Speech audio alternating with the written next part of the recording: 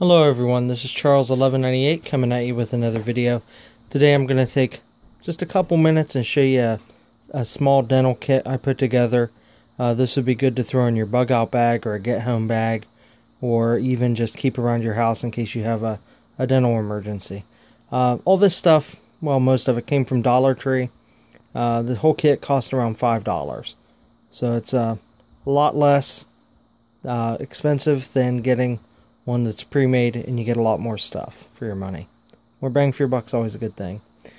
So over here we just have a little plastic medical kit box that was going to get thrown away. I have some medication, some Advil liquid gels, Advil, Tylenol.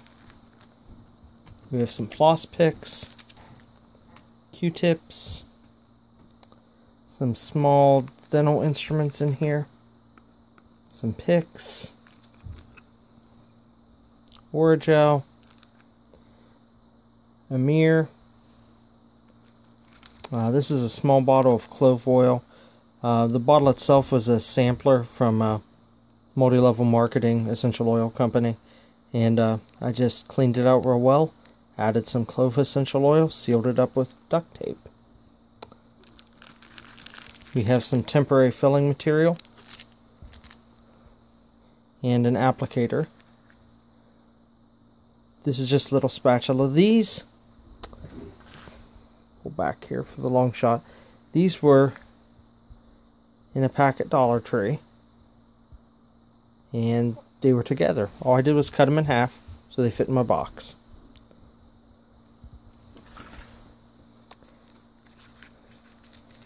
These are sinus rinse packets. It's a buffered saline solution it's buffered with baking soda. It's real good to uh, rinse your sinuses out with and thus rinse your mouth out with. Uh, you can get these in a pack at Walmart. Gigantic pack of them for I think five, ten bucks. Antiseptic wipe for your hands. Alcohol wipes for your instruments. Instructions for the temporary filling material.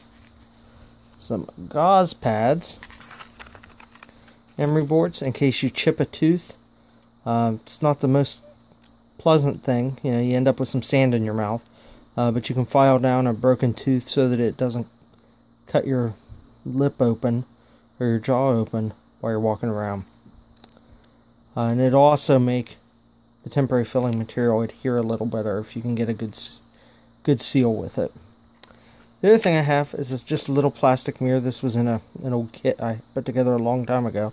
And of course you need a mirror to use this mirror inside your mouth. So that's what I got guys. Around five bucks you can put together a pretty good dental kit to have in case of emergency. Good luck guys. Stay safe.